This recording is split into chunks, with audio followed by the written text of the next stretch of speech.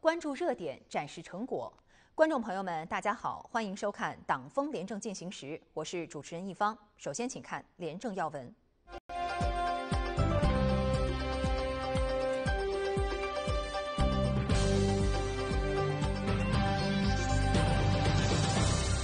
日前，十三届全国人大常委会第三十次会议表决通过了《中华人民共和国监察官法》。监察官法深入贯彻习近平新时代中国特色社会主义思想，落实党中央深化国家监察体制改革重大决策部署和习近平总书记关于加强纪检监察干部队伍建设的重要要求，以宪法和监察法为依据，坚持党管干部原则，坚守为人民服务的宗旨，坚持责任法的定位。以法律形式明确监察官的职责义务，加强对监察官的监督制约，构建中国特色监察官制度，为进一步健全反腐败领导体制和工作机制，完善党和国家监督体系，推进国家治理体系和治理能力现代化提供了重要保障。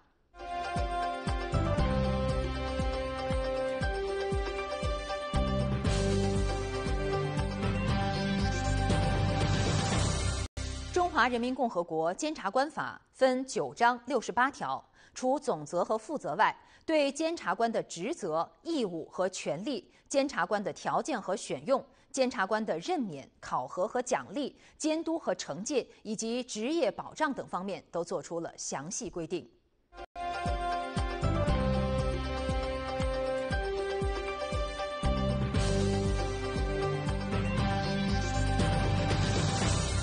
日前，省纪委监委、省委组织部对今年全省村级两委换届期间四起违反换届纪律问题进行公开曝光。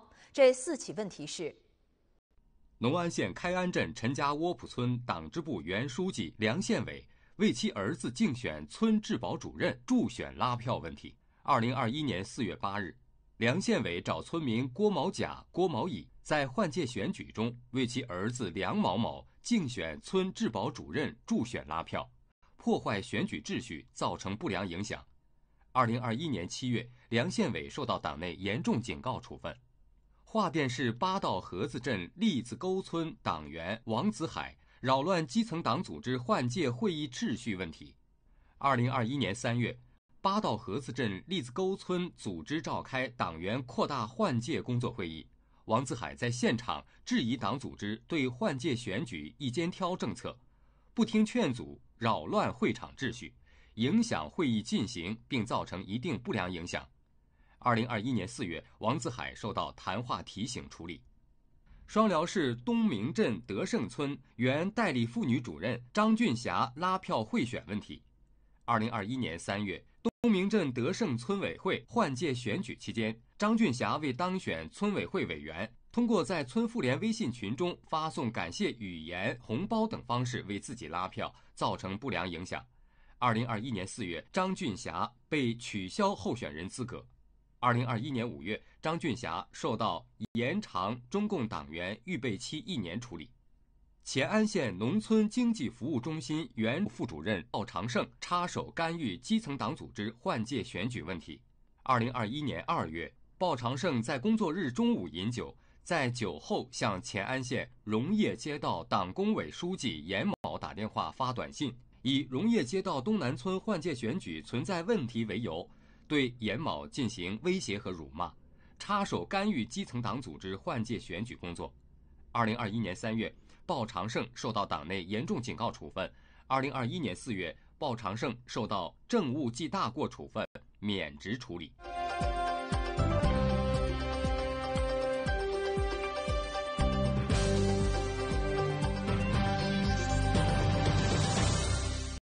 为推动党史学习教育，省纪委监委宣传部策划了《吉林红色展馆中的作风纪律》系列短片。今天展播的是。陈云艰苦朴素和严于律己的作风故事。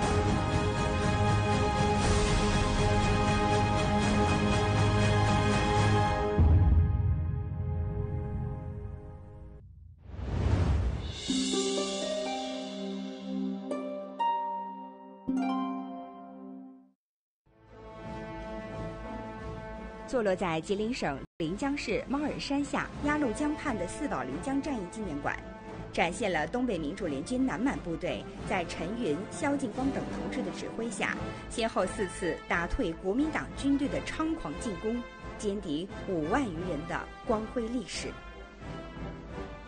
四宝临江战役的胜利，扭转东北战局，改变了敌我双方力量，东北民主联军由战略防御转为战略反攻。为辽沈战役和东北解放奠定了坚实的基础。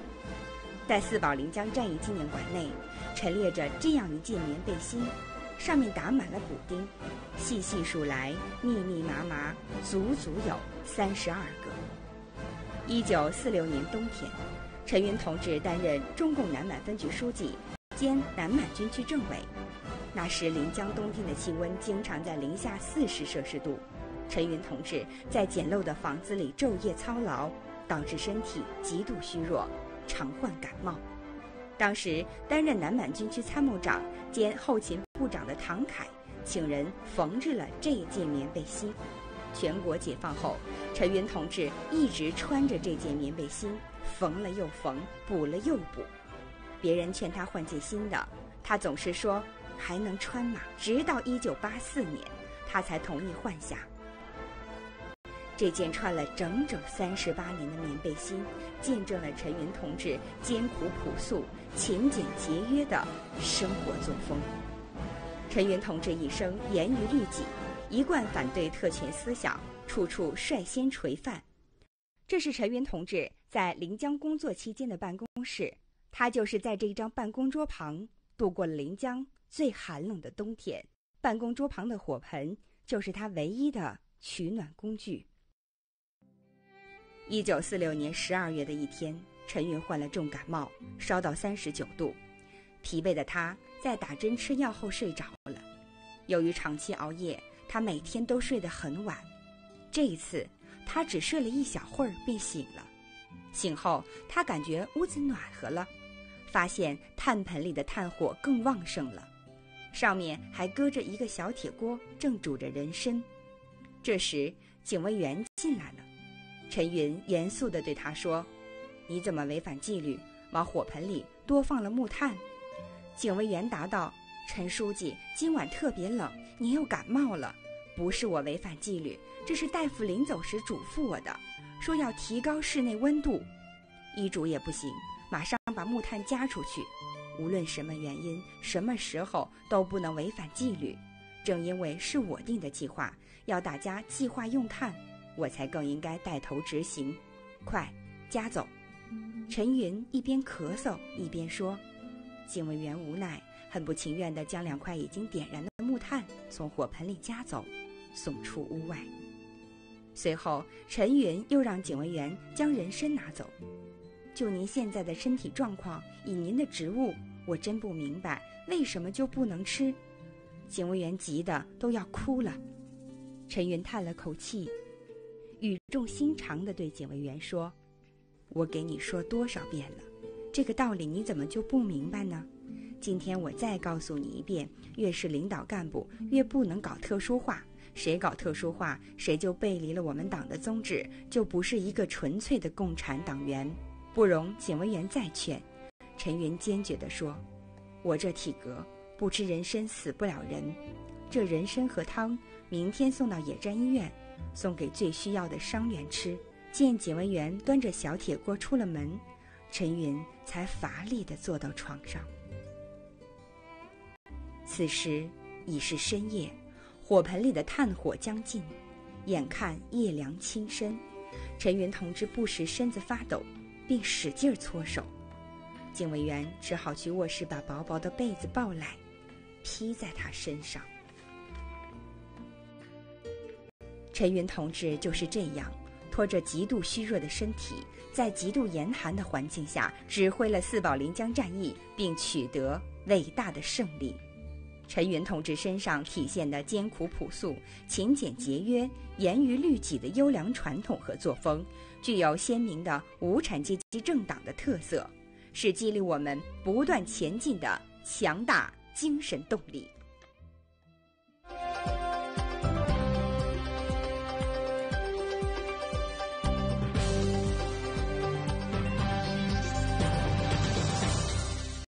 据吉林市纪委监委消息，舒兰市委原常委、统战部原部长张子云严重违纪违法，被开除党籍和公职，其涉嫌犯罪问题移送检察机关依法审查起诉，所涉财物随案移送。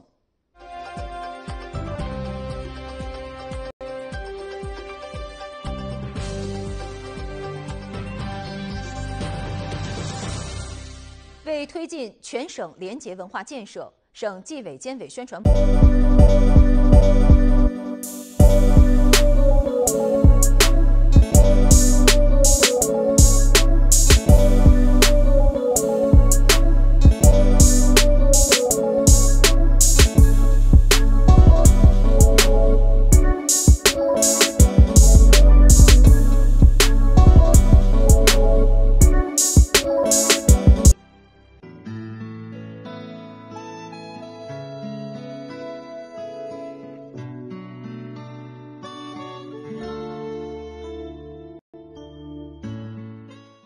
在全党开展党史学习教育，是党中央立足党的百年历史新起点，统筹中华民族伟大复兴战略全局和世界百年未有之大变局，为动员全党全国满怀信心投身全面建设社会主义现代化国家而做出的重大决策。全党同志要做到学史明理、学史增信、学史崇德、学史力行，学党史悟思想。办实事、开新局，以昂扬姿态奋力开启全面建设社会主义现代化国家新征程。下面，我们就一起学习一下有关党史的学习视频。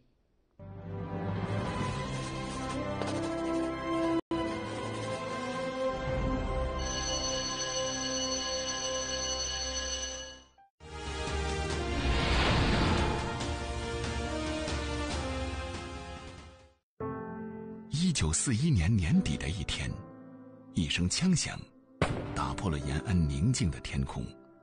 肖玉璧被执行枪决。在艰苦的新民主主义革命时期，肖玉璧是一名经历枪林弹雨考验的老红军，身上有九十多处战斗伤痕。毛泽东十分关心他。还曾专门指示将自己的那份牛奶份额送给肖玉璧补身体。考虑到他的身体状况，组织安排他到家乡清涧县任张家畔税务分局局长。然而，他在任期间却利用职权做起了生意，甚至把根据地奇缺的石油、面粉卖给国民党军队，克扣公款达三千零五十元。四零年，正是边区经济最困难的时候，三千多块钱呢，这是老百姓的救命钱。抱有侥幸心理的肖玉璧还写信给毛主席求情，但他低估了共产党处理贪腐行为的决心。边区政府最后依法判处其死刑。坚决同一切消极腐败现象作斗争。是永葆共产党人政治本色的重要要求。兴政廉洁，是融入中国共产党人血脉之中的不变本色，也是中国共产党人代代传承的红色基因。中国共产党从建立之初就特别重视廉洁纪律建设。一九二二年，中共二大通过了党的第一部正式章程《中国共产党章程》。就专设了经费一章，用以加强经费的监督和审议，防范贪腐风险。一九二六年八月四日，中共中央就发出了党的历史上第一个惩治贪污腐化分子的文件，关于坚决清洗贪污腐化分子的通告。之后，又陆续颁布多个防范贪腐的文件。保证了党的纯洁性，较好地适应了革命环境下激烈的阶级斗争的需要。一九四九年，当蒋介石政权行将崩溃之时，时任美国驻华大使司徒雷登对国民党军官们说：“共产党战胜你们的，不是飞机大炮，而是廉洁。以及廉洁换得的民心。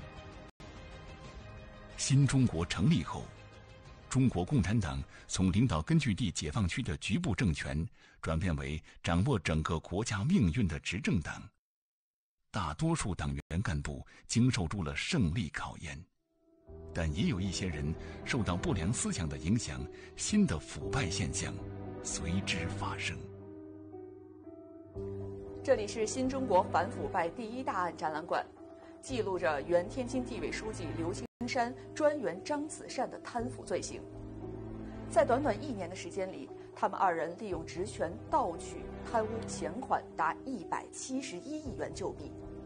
因为我们这个队伍，实际上农民出身居多，所以革命胜利后，小农思想在革命队伍里面又会出来，他就觉得该享受了。所以当他面对那么多钱财的时候，他无法克制他的那种私欲的膨胀。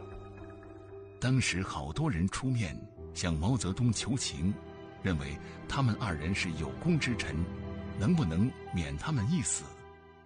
毛主席当时非常严肃地说：“正是因为他们二人地位高、影响大、功劳大，所以才下决心处决他们。”这个处理的结果，对全党起到了振聋发聩、扶正祛邪的效果。两个月后，新中国第一部专门惩治贪污腐败的法律条例《中华人民共和国惩治贪污条例》正式出台，为反腐败斗争提供了坚强的法治保障。为政清廉，才能取信于民；秉公用权，才能赢得人心。清正廉洁，作为中国共产党人的政治操守。始终与党为中国人民谋幸福、为中华民族谋复兴的初心和使命连接在一起，使我们党在人民心中树立起崇高形象，赢得人民的信赖、爱戴和拥护。中国特色社会主义进入新时代。以习近平同志为核心的党中央，把党风廉政建设和反腐败斗争作为全面从严治党的重要内容，正风肃纪，反腐惩恶，营造廉洁从政的良好环境。中国共产党纪律处分条例、中国共产党廉洁自律准则等数十部党内法规的修订出台，搭建了党内纪律监督制度的四梁八柱。十七点八八亿元，这是法庭审理查明的赖小民受贿金额，也是新中国成立至今受贿案件涉案金额的最高纪录。赖小民在北京某小区一处房屋中，多个保险柜里存放的现金就达两个多亿。拿了就就往那一放，就像经常会去超市嘛，就是把这个名字叫超市，就在里面铁柜里，有铁皮柜。一分钱都没花，都放在那里了，最后都是组织上都收了，所以我觉得这也是这要这么多钱有什么用啊？最后怎么又不敢花又不敢用，还提心吊胆的。二零二一年一月二十九日上午，赖小民被依法执行死刑，用生命为其贪腐行为买下了最贵的一单。党的十八大以来，在以习近平同志为核心的党中央坚强领导下。反腐败斗争取得压倒性胜利，并全面巩固，全面从严治党战略性成果日益显现，党内政治生态持续好转，群众对党风政风满意度稳步提升，党长期执政的政治基础更加稳固，正风肃纪反腐永远在路上，必须保持定力。久久为功，要以持续深入的反腐败斗争，永葆共产党人清正廉洁的政治本色，打造海晏河清、朗朗乾坤的清廉中国。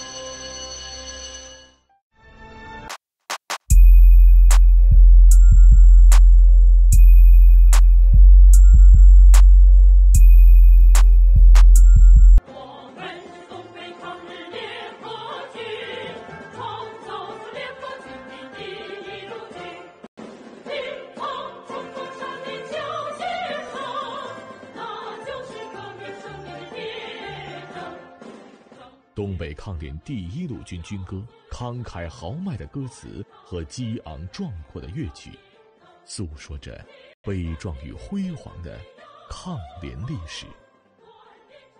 这首歌的词作者，正是东北抗日联军的主要创建者和领导人之一杨靖宇。一九四零年一月，三十五岁的杨靖宇在长白山腹地。吉林省原蒙江县与敌人斗争时壮烈牺牲，为纪念这位抗日英雄，蒙江县改名为靖宇县。走进靖宇县杨靖宇将军纪念馆，庄严肃穆的历史气息扑面而来。三个展览厅，两千四百余件珍藏文物，以杨靖宇将军战斗的一生为主题，讲述了那段。战火硝烟的难忘岁月。杨靖宇，原名马尚德，河南确山人，一九零五年生，一九二六年加入中国共产党，一九二九年春赴东北领导工人运动。一九三一年，九一八事变后，杨靖宇任中共哈尔滨市委书记，积极领导东北人民的抗日斗争。成为反抗日本帝国主义侵略东北的旗手和中流砥柱。杨靖宇曾对人说：“他上过两个大学，一个是社会大学，一个是监狱大学。他先后五次被捕入狱，屡受酷刑，忠贞不屈。”一九三四年，东北人民革命军第一军成立，后组编成东北抗日联军第一路军。杨靖宇任总司令兼政委。一九三八年六月，老岭会议结束后，杨靖宇创作了著名的东北抗日联军第一路军军歌，并亲自指挥交唱。军歌展示了抗联英雄英勇不屈的斗争精神和豪迈气概，振奋了军威士气，在抗联将士中广泛传唱。一九四零年一月，他自己率警卫旅转战于蒙江一带，最后置身于敌周旋五昼夜，以难以想象的毅力，坚持和敌人进行顽强斗争，直至殆尽，壮烈牺牲，时年三十五岁。杨靖宇生前和死后都受到了日军的极大敬畏，他陷入绝境后，日军曾派叛徒向他劝降。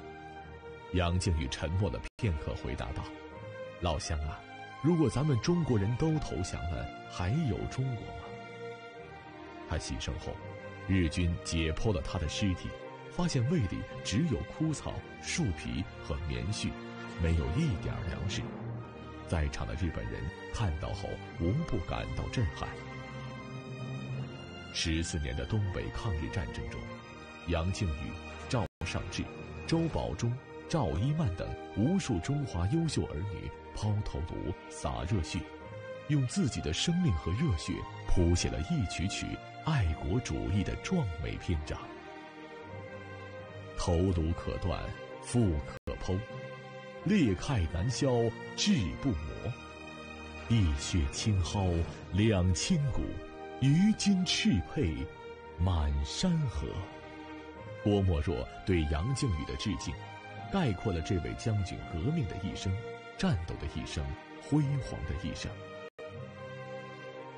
如今的靖宇县，在红色油的基础上，开拓生态油、冰雪油、风情油等相互融合的全域旅游，在加快实现绿色转型、全面振兴的路上，越走越宽。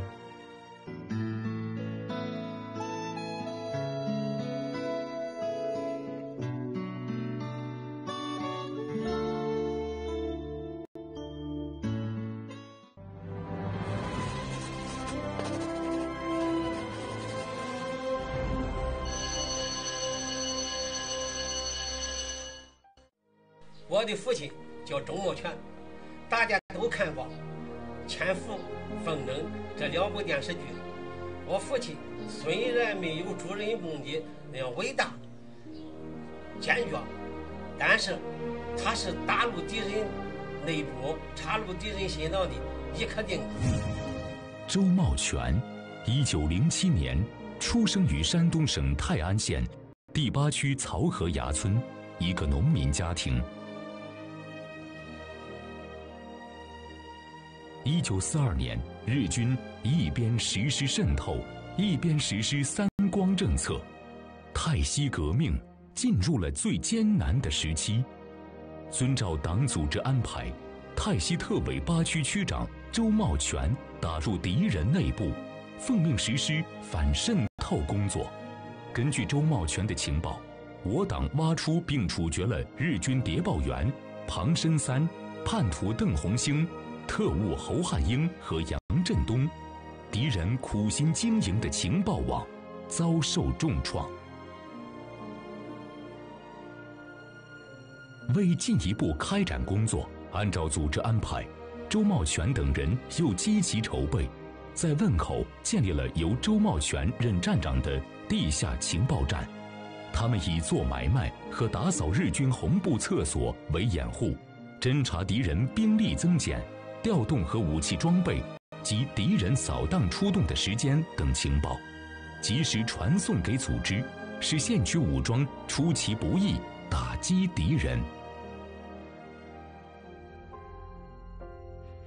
后来，周茂全在给党组织送情报的时候被日本人抓住，日本人严刑毒打，给他灌辣椒水，走十二盘热鏊子。逼他说出泰西特委藏在哪里，周茂全宁死不屈，一字不说，直至生命的最后一刻，严守党的秘密，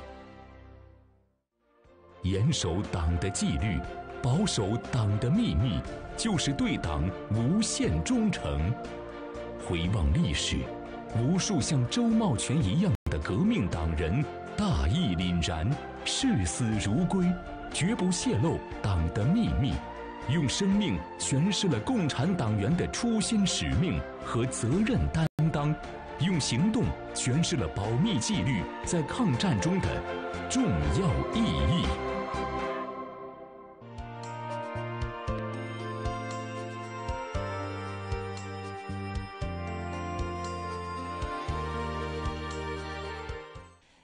节目就到这里了，欢迎您在每周一准时关注《党风廉政进行时》，同时您也可以登录省纪委官方网站观看我们的节目，并发表您的观点。